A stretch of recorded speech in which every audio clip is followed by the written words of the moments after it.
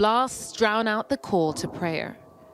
A day to celebrate the end of Ramadan is marked by endless violence.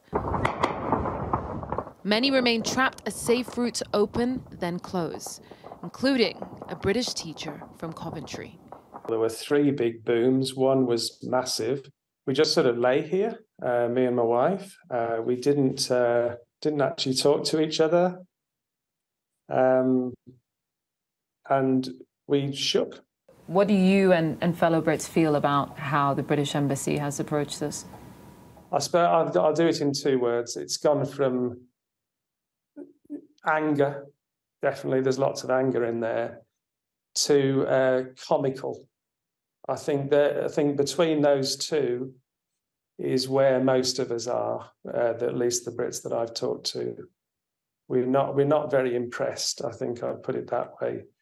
People continue to flee, and volunteers are working overtime to coordinate their safe passage white Sudanese army and RSF are attacking each other. Uh, my friend and I are um, trying to find base passage for people to leave their location to another uh, safer place. He makes one of many calls to a friend, hey, asking if her road is safe to use. Mozab has helped many to safety, including American researcher Rebecca. Her calls to her embassy were fruitless. I am livid at my embassy. I think that their advice actively is going to hurt people.